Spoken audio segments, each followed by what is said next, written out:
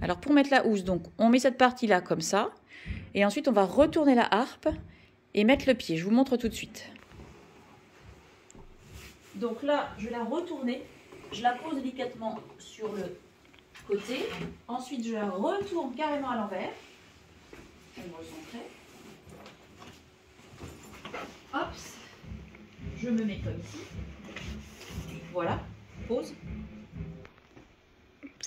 Et donc, une fois qu'on l'a mise à l'envers, je la tiens entre mes jambes, c'est très pratique. Sinon, si vous êtes avec quelqu'un, vous le faites. Et du coup, vous pouvez mettre le socle, la poignée devant moi. Comme ça, je mets le socle et après, je clipse.